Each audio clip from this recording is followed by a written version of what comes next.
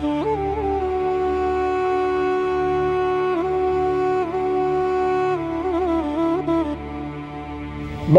Sayyidina Ibn Abbas radhiyallahu anhu wa nafa'ana bih wa bi ulumih wa bikum jami' fi dharin amin Allahumma amin. Khuyira Sulaiman alaihi salam.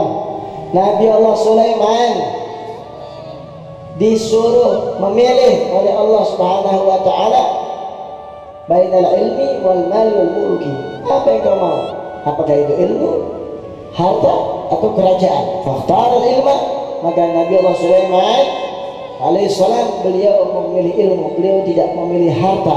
Beliau tidak memilih kerajaan. Yang beliau pilih di antara tiga itu adalah ilmu. Fa'atahu Allahul mala wal mulka.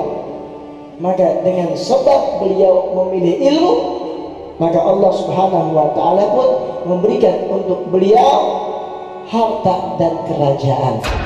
Di saat beliau memilih ilmu maka Allah Ta'ala akhirnya memberikan beliau harta dan kerajaan. Coba kalau beliau pilih harta maka tidak dapat ilmu. Coba kalau beliau pilih kerajaan tidak dapat ilmu. Di saat beliau memilih ilmu maka Allah Ta'ala memberikan beliau harta dan kerajaan. Itu semua jin, syaitan, iblis tunduk semua sama Nabi Allah Sulaiman alaihissalam binatang-binatang tunduk semua sama Nabi Allah Sulaiman alaihissalam angin semuanya tunduk sama Nabi Allah Sulaiman alaihissalam.